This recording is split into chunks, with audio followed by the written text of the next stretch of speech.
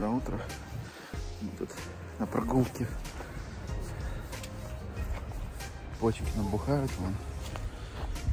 Вон, почки есть. Фокус возьмет, нет? Э, не берет. Да, вот. Все равно будет через неделю опять погода так себе.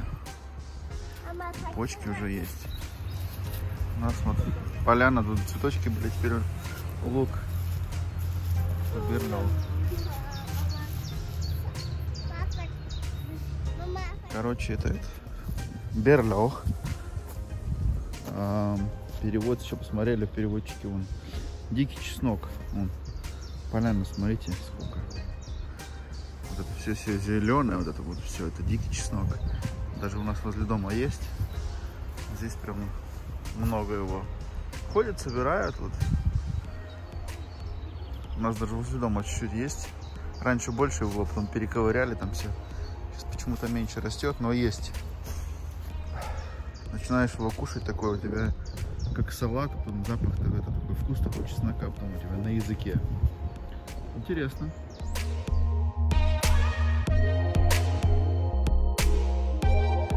Дикий чеснок. Ну вот что мы этот... Сейчас я на работу поеду, перед работой прогуляться чуть-чуть. Потом как-то этот... Поспал туда-сюда, тут не пролетаем. Ничего не успеваешь. Но кино потихоньку монтирую. Взялся уже. Одно уже залито, ждет своего часа. И сейчас еще одно делаем, следующее. Я не знаю, я на днях смотрел, у меня там файлов. Ну, блин, я не знаю, еще, наверное, видео 10-11 получится примерно с 22 года, где я ездил на мото, что-то записывал. Так что еще пару месяцев пройдет, пока они все выйдут. Но я, я обязательно объявлю, покажу. Убегает. Солнышко такое вот обманчивое. Вроде местами тучки, там солнышко. На следующей неделе опять будет пару градусов попрохладнее. Ну а на Пасху наши каникулы, весенние каникулы, то есть первые две недели апреля обещают нормальную погоду. И потом уже к тому времени приведем Кавасаки в порядок. И обязательно выйдем, запишем что-нибудь интересное, полезное. Камеру уже приготавливаю потихоньку. GoPro еще пока не приготовил, но э, надо будет за это взяться обязательно. Надо будет за это взяться.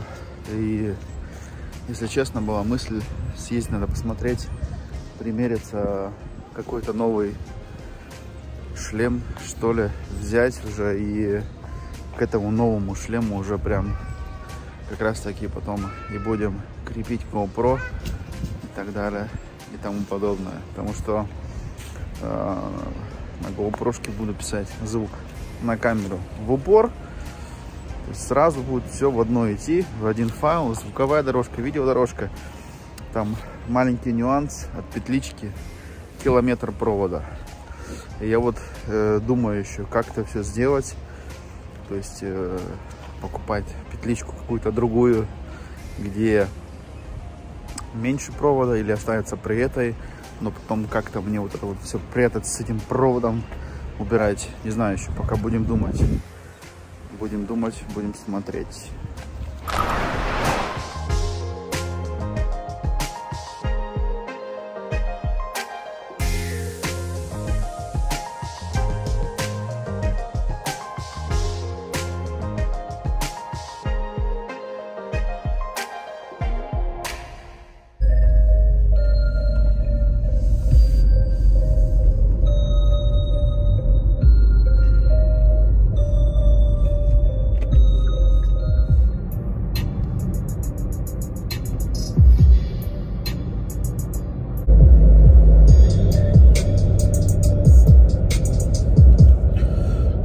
Вот такой вот э, спокойный биточек нашел вчера музон. Специально долго не включаю, потому что вдруг завтраку придет. Хотя его пробовал ставить в шортс, вроде пока ничего такого страшного не пришло. Но все равно надо быть с этим аккуратнее. Сейчас 14 плюс. Такая обманчивая погода, это же просто ужас. Ну то есть желание прокатиться на мото сейчас уже как бы, ну, температура растет, желание тоже есть, э, но возвращаешься через 7-8 часов домой после работы, и, ну, погода та еще себе штука.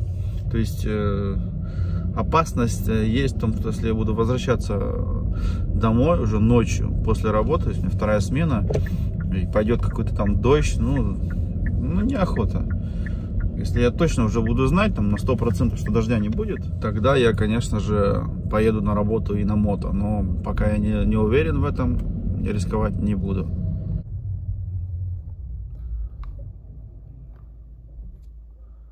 Заряд есть, попробуем добраться до работы без бензина. Ну, у меня сейчас 23 километра показывает, электричество есть, батарея заряжена, на которой я могу проехать 23 километра. Ну, это больше, чем пол пути до работы, который я проеду, в принципе, без бензина. Вот так вот. Посмотрим. Поедем. Так цветочки цветут. Весной пахнет.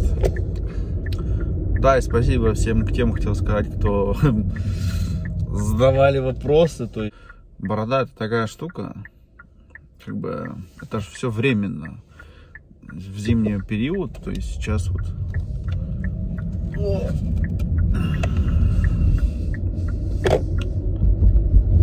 придет осень, будет опять борода, все будет нормально. Сейчас пока э, на летние такие вот деньки, там отпуск, вот это вот все, жара у нас вот это вот э, очень такая духота, и оно все вот это вот потеет, как бы, ну, не очень приятно и тем более в шлеме ездить полностью запакованным мне тоже мало приятно. Пробовал пару раз.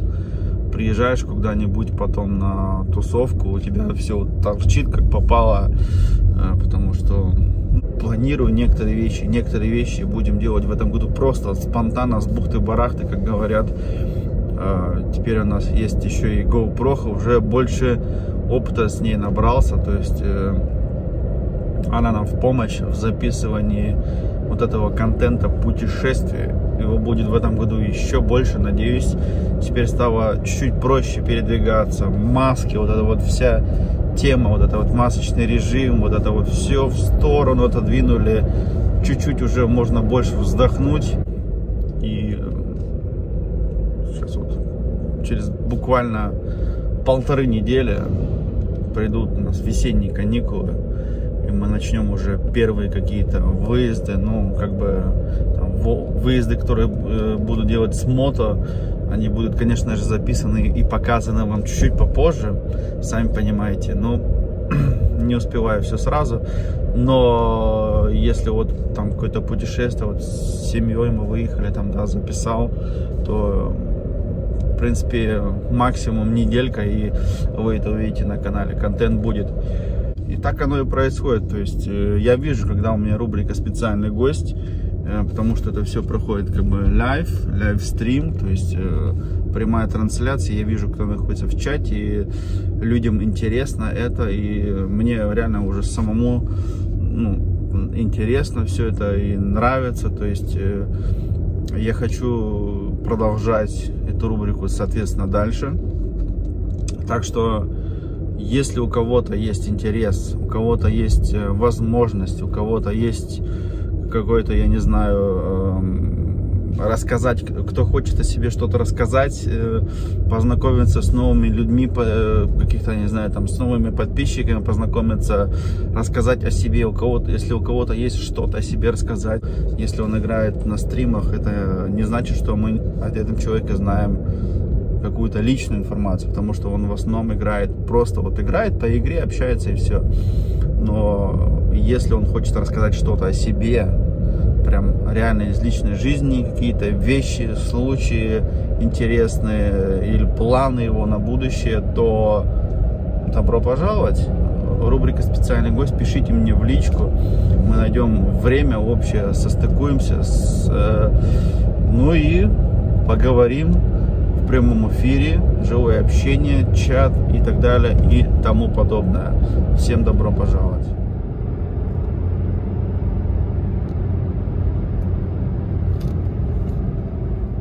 Я на работу, работать.